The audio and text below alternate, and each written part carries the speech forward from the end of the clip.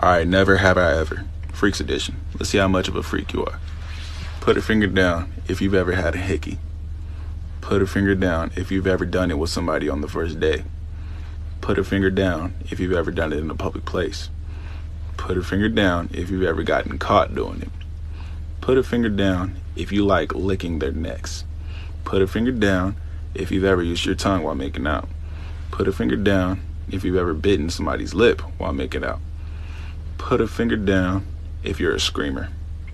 Put a finger down if you like getting your hair pulled. Put a finger down if you like it rough. People are seeing us. Stop looking at them. If they are seeing you, don't see them. You see me. Look into my eyes. Do you know how I am making men cry? You know I'm making men cry. Small cylinder, size one. I have a flat screen. You can cut, touch, paste. You know what? You just tell me what you want me to do, and that's what I'll do. Huh? First, I suggest you pack your toothbrush.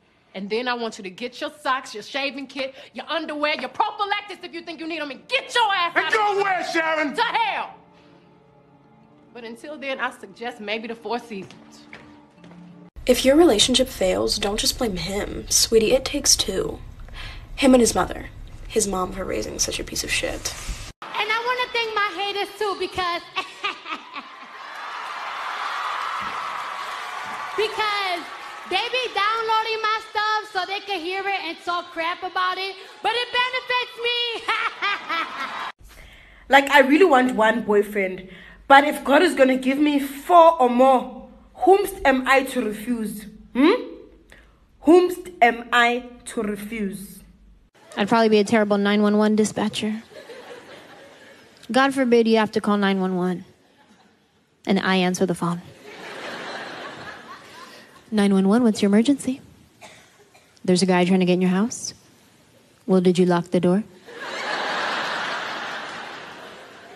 You didn't lock the door? Well, that was dumb, huh? I mean, like,